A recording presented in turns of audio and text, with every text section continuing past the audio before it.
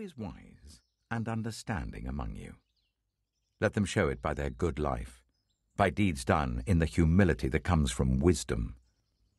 But the wisdom that comes from heaven is first of all pure, then peace loving, considerate, submissive, full of mercy and good fruit, impartial and sincere.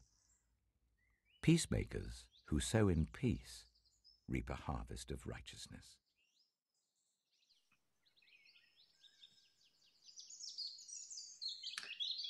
Welcome and thank you for joining us today. I know Dan and I certainly look forward to the time when we can gather to worship together again.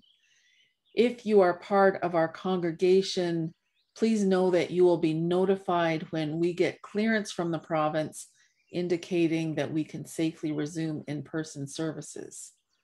We will also put notices of the same online. Next Sunday will be the first one in June. So we'll we will be celebrating communion. Please prepare your hearts and minds for that service as we come to the Lord's table. God bless you and yours. Let us pray. Our gracious and loving Heavenly Father, we come to you today in the name of Jesus. Thank you for giving your only begotten Son that we could be saved. Thank you for the power of the gospel. It is the power of God unto salvation. We acknowledge that we are blessed beyond measure and we want to give you thanks. You have provided for us. We pray for our country today and thank you for the privilege of living here. Your word says, Blessed is the nation whose God is the Lord, and we pray that would be a reality. We pray for Prime Minister Trudeau, Premier Ford, and the men and women in government. May they have the wisdom and the courage to govern in righteousness and truth. We pray for the men and women in the military in many places around the world. They face harm and danger every day, and we pray for their protection.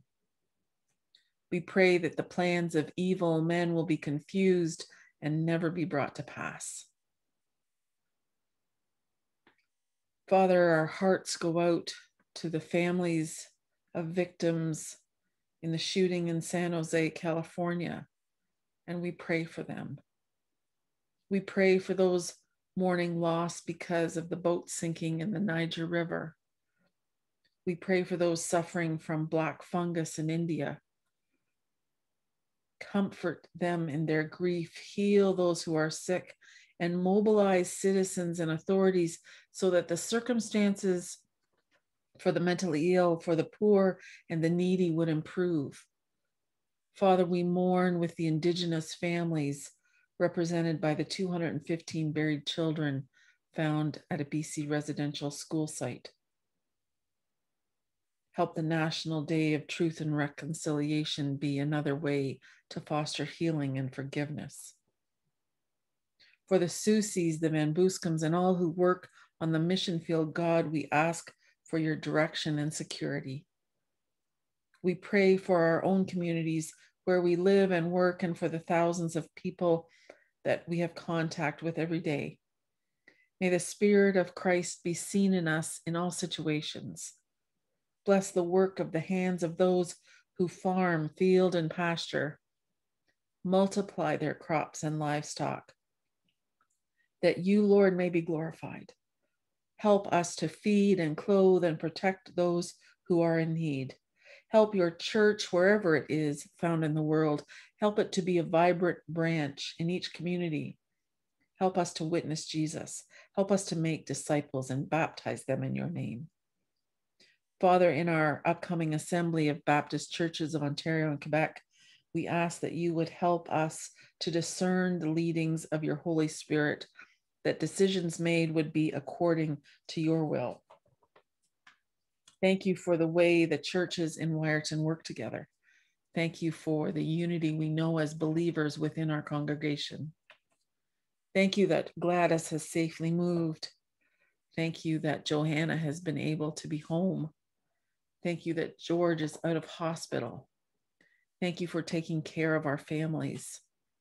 Thank you for the great care received by those in nursing homes and retirement residences. Encourage and uplift the staff there and in hospitals and hospices. For those who mourn for the McNabb family and all those known to us, or those who are in hospice care, Lord, we ask that your love and assurance of salvation would envelop them and comfort them. We are grateful, Heavenly Father, that the number suffering from COVID is decreasing in this province, but we continue to ask you that you would heal those who are suffering from this coronavirus, halt the rates of infections here and around the world, that you would be honored. We thank you for the medicines and treatments received by each one of us over the course of our lives. We thank you for inspiring researchers and giving them an understanding of what you have created. Father, we ask that you would work a miracle in Johanna, in George and Annika, and Elsie and Henry and Betty, and all who need your touch. We know you are able, and we ask according to your perfect will. Lord, we ask that you would reveal yourself to all those who are weary, to all those who feel they are suffering mentally and emotionally. Lord, bless people with faith in you so that they can claim your peace, so they can find purpose, so they can understand that you love them. Help people to accept you as their Savior, Lord, for it would solve so many of their problems. None of us are worthy of your grace, for we know we have offended you in sinful ways. Forgive us and pour your spirit on your people. As you have taught us to pray, let us pray together. Our Father, who art in heaven, hallowed be thy name. Thy kingdom come, thy will be done on earth as it is in heaven. Give us this day our daily bread and forgive us our trespasses as we forgive those who trespass against us. And lead us not into temptation, but deliver us from evil. For thine is the kingdom, the power, and the glory forever and ever. Amen. Psalm 94 Take notice, you senseless ones among the people.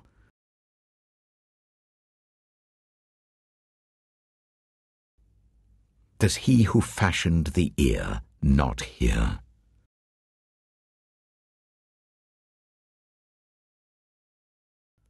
Does he who disciplines nations not punish? The Lord knows all human plans. Blessed is the one you discipline, Lord, the one you teach from your law.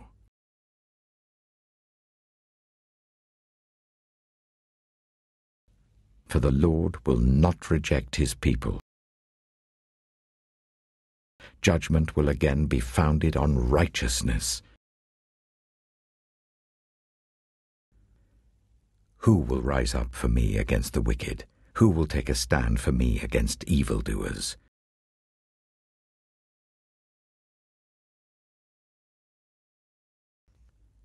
When I said, My foot is slipping, when anxiety was great within me. Can a corrupt throne be allied with you? A throne that brings on misery by its decrees.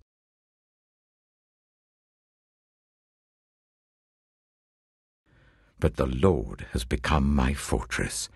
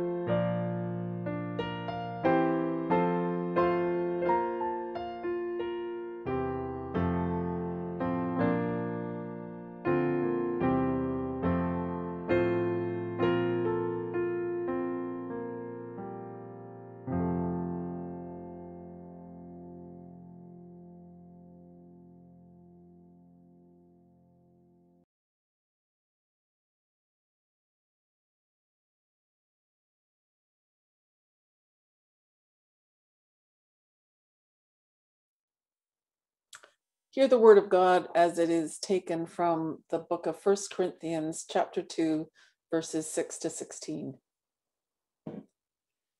We do, however, speak a message of wisdom among the mature, but not the wisdom of this age or of the rulers of this age who are coming to nothing. No, we declare God's wisdom, a mystery that has been hidden and that God destined for our glory before time began. None of the rulers of this age understood it, for if they had, they would not have crucified the Lord of glory. However, as it is written, what no eye has seen, what no ear has heard, and what no human mind has conceived, the things God has prepared for those who love him. These are the things God has revealed to us by his Spirit. The Spirit searches all things even the deep things of God. For who knows a person's thoughts except their own spirit within them? In the same way, no one knows the thoughts of God except the Spirit of God. What we have received is not the Spirit of the world, but the Spirit who is from God, so that we may understand what God has freely given us. This is what we speak, not in words taught us by human wisdom, but in words taught by the Spirit, explaining spiritual realities with Spirit taught words. The person without the Spirit does not accept the things that come from the Spirit of God, but considers them foolishness and cannot understand them because they are discerned only through the Spirit the person with the spirit makes judgments about all things, but such a person is not subject to merely human judgments. For who has known the mind of the Lord so as to instruct him? But we have the mind of Christ. Amen. Before I begin, let us pray. Heavenly Father, we thank you for this day we thank you that you have opened our eyes to faith in Christ. Father, we thank you for the blessings of your salvation. We thank you for the peace we know through forgiveness, through faith in you. And Father, we ask that you would teach us through your word today that what is spoken here will glorify you. Through Jesus we pray. Amen.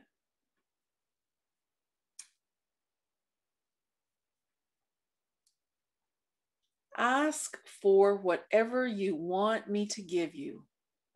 What would you ask for if someone said that to you? Ask for whatever you want me to give you.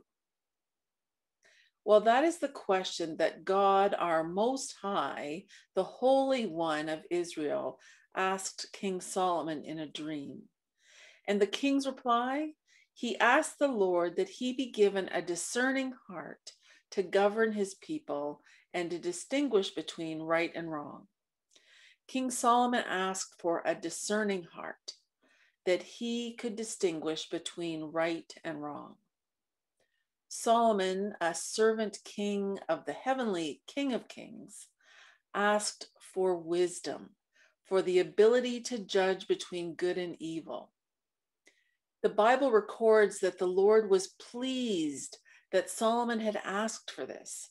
So God said to him, Since you have asked for this, and not for long life or wealth for yourself, nor have asked for the death of your enemies, but for discernment in administering justice, I will do what you have asked. I will give you a wise and discerning heart, so that there will never have been anyone like you, nor will there ever be. Moreover, I will give you what you have not asked for, both wealth and honor, so that in your lifetime you will have no equal among kings. And if you walk in obedience to me and keep my decrees and commands as David your father did, I will give you a long life. Desiring wisdom pleases God. That's what that scripture tells us desiring wisdom pleases God. In May of 2012, a 32 carat Burmese ruby and diamond ring that was part of the collection of a Lily Safra, one of the richest women in the world at the time, was sold at an auction. The pre-auction estimate for the sale was three to five million dollars, but the final sale price ended up at $6.7 million. It is believed to be the most expensive ruby ever sold. As valuable as rubies are, the Bible tells us that wisdom, the ability to make a decision based on the combination of knowledge, experience, and intuitive understanding, is far better and more valuable than rubies. No earthly treasure can compare to wisdom because nothing else offers the same protection, benefits, and blessings than wisdom does. For wisdom is better than rubies, and all the things that may be desired are not to be compared to it. Before we go any further, though, I want to stress that knowledge and wisdom are two different things they work together, but knowledge is facts, information, and skills acquired by a person through experience or education, the theoretical or practical understanding of a subject. Whereas in this context, wisdom encompasses the ability to know and apply spiritual truths in a, in a smart way. Knowledge is knowing that a tomato is a fruit. Wisdom is not putting it in a fruit salad. In the eighth chapter of this book, Paul states, We all possess knowledge. We all possess worldly knowledge, knowledge that enables us to function, to earn a living, and to interact with others. Some of you know how to hang a blind, brail a sail, create dovetail joints, read music, paint, alter a dress, or change a dressing. We all possess knowledge, but as scripture warns, knowledge puffs up while love builds up. Someone once said, knowledge is like underwear. It's useful to have it, but not necessary to show it off. That's the difference between knowledge and wisdom. Knowledge is proud that it knows so much, wisdom is humble that it knows so little. Knowledge speaks, but wisdom listens. Knowledge is knowing what to say, wisdom is knowing when to say it. Most important of all, the fear of the Lord is the beginning of wisdom, and the knowledge of the Holy One is insight. How sad the situation of those who are always learning but never able to come to a knowledge of the truth. That truth being that there is one God and one mediator between God and human beings, Christ Jesus, himself human, who gave himself as a ransom for all people. Jesus, as the Son of God, died, was raised from the dead, and ascended into heaven, where he reigns forevermore. For those who acknowledge their sin before him and declare Jesus as Savior, he is the one in whom all believers boast. We boast not in our knowledge or skill set, not because of our possessions or good works. As Christians, we boast in Jesus, the power of God, the wisdom of God for he is the author and endower of all we have through faith. God graciously blesses us with his spirit when we come to faith in Christ. Did you notice in today's reading that it says, as believers, as those gifted with the Holy Spirit, we have the mind of Christ? Now, that is an utterly incredible statement to explain that phrase, my Bible references me back to the words of our Redeemer himself, who said, I no longer call you servants because a servant does not know his master's business. Instead, I have called you friends. For everything that I learned from my Father, I have made, made known to you. Having the mind of Christ, that strong tower, the bright and morning star, means we are friends to whom Jesus taught the master's business. As we pray and obey, as we come to know the word of God, we mature. In a business model, we move from being silent partners that contribute but don't do anything on a day to day basis to becoming a full partner that take on both the work and the liability. Having the mind of Christ means that we can discern spiritual things that the natural man or the unbeliever cannot understand or see. Having the mind of Christ is the same as being indwelt by the Holy Spirit, and both are attained through faith at the moment of salvation. Repent and be baptized, every one of you, in the name of Jesus Christ for the forgiveness of sins, and you will receive the gift of the Holy Spirit. Through the Holy Spirit, God has made us partakers of the divine nature so that we can have all things that pertain to life and godliness, through the knowledge of Himself. The highest goal of learning is to know God. In fact, the beginning of knowledge, the beginning of wisdom starts with the fear of the Lord. That humbling of self, that recognition of who God is and what he has done for you and for me. To be in awe of him, to be thankful, to praise him, to know he is creator and judge. That is the beginning of knowledge and wisdom. The Greek word for wisdom, sophos, means the ability to judge correctly and to follow the best course of action based on knowledge and understanding. We are not seeking after wisdom of this age or of the rulers of this age who are coming to nothing. No, we declare God's wisdom, a mystery that has been hidden and that God destined for our glory before time began.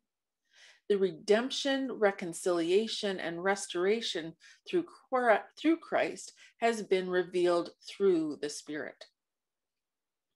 As believers, what we have received is not the spirit of the world, but the spirit who is from God so that we may understand what God has freely given us.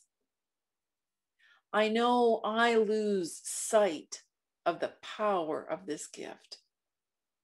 I would hazard a guess that as at some point or other, all believers forget just what God has given us in the person of the Holy Spirit. No one knows the thoughts of God except the Spirit of God. And it is that very same spirit that teaches us and explains spiritual realities to us. That's why in today's world, we seem to be speaking another language.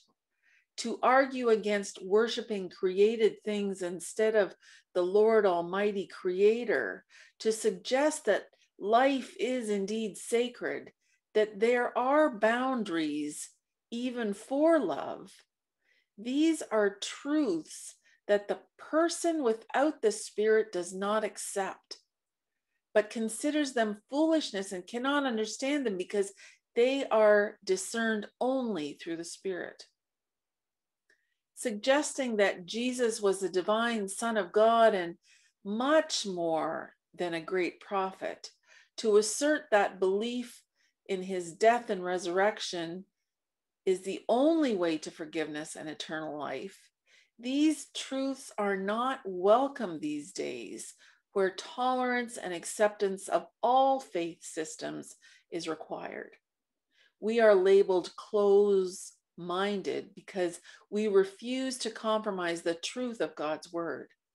We are considered weak because we seem to need God on a daily basis, if not a second, every second basis of the day to deal with life's problems. Earthly wisdom appeals to the senses and the emotion and the self. In contrast, the wisdom that is from God reflects him. In fact, it focuses on him.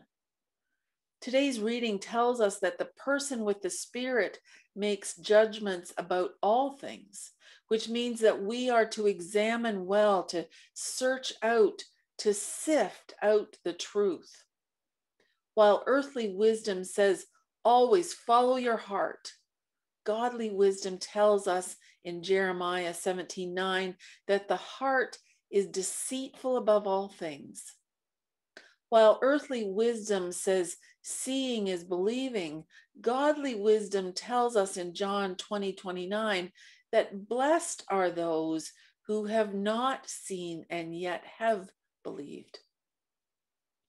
While earthly wisdom says, Love your family and friends, godly wisdom tells us in Matthew 5, verses 43 to 47, to also love your enemies and pray for those who persecute you. While earthly wisdom says there are many ways to God, godly wisdom tells us in Acts 4, verse 12, that there is only one way to God, Jesus Christ. It states, Salvation is found in no one else, for there is no other name under heaven given to mankind by which we must be saved. The gospel of Jesus is not a message born out of hate the message of the cross may seem foolishness to those who are perishing, but to us who are being saved, it is the power of God. It is the roadmap meant to save people from destruction and pain, to pull them from the fire, to give them peace and hope and everlasting life.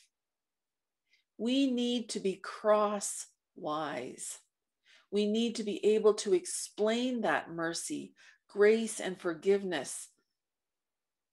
That, that those that mercy, grace, and forgiveness are available to all when we approach the throne of God with humility and repentance. That's why we have the Gospels, so that you may believe that Jesus is the Christ, the Son of God, and that by believing you may have life in his name believing in God's love that he sent his son Jesus to die as payment for our sin in order to provide the means for our forgiveness when we believe in him as our risen savior.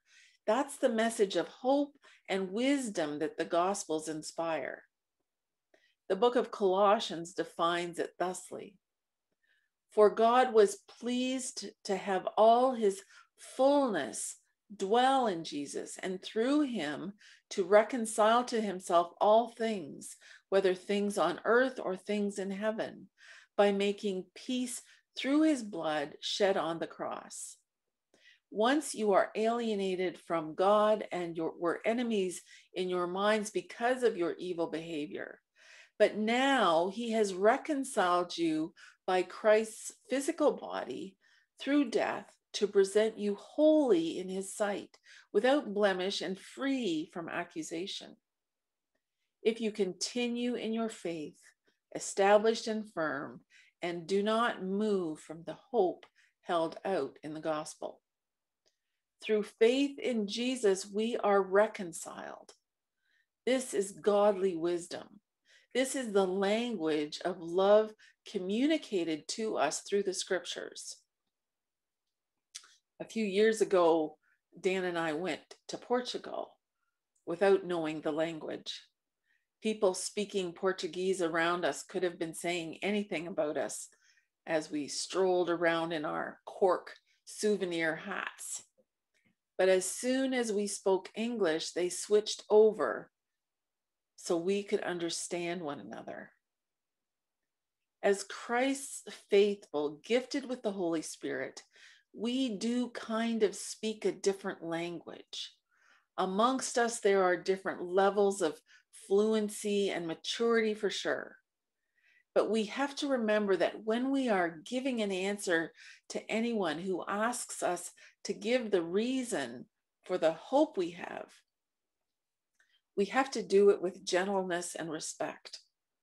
We cannot just speak wisely. We need to heed the Spirit of God and apply spiritual realities to our lives. For we witness God not only in what we say, but in our everyday behavior.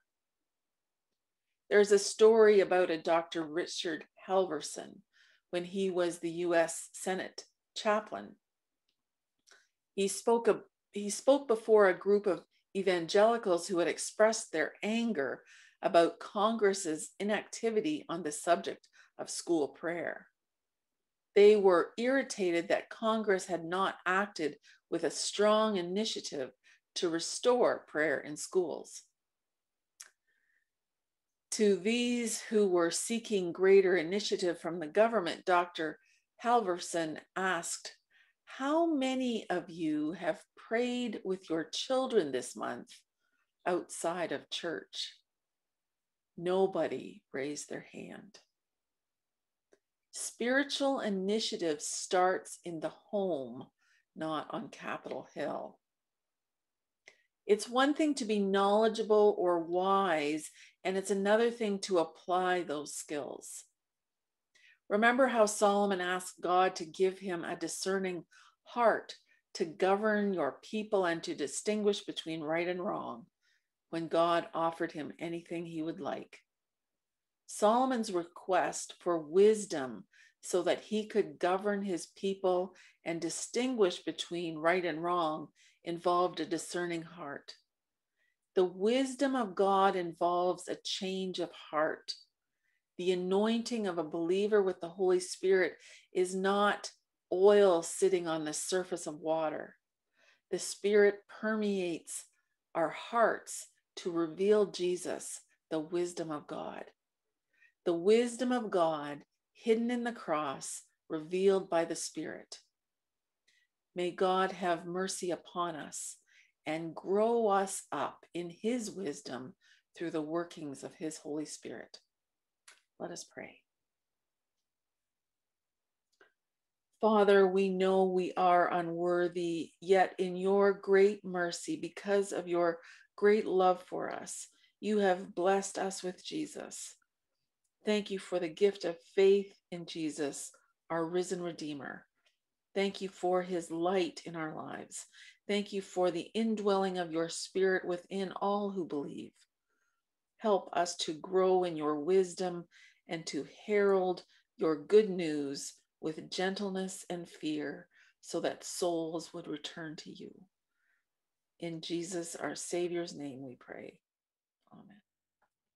I want to leave you with a final benediction taken from the book of Romans and Philippians. Everyone has heard about your obedience, so I rejoice because of you, but I want you to be wise about what is good and innocent about what is evil. The God of peace will soon crush Satan under your feet. The grace of our Lord Jesus be with you.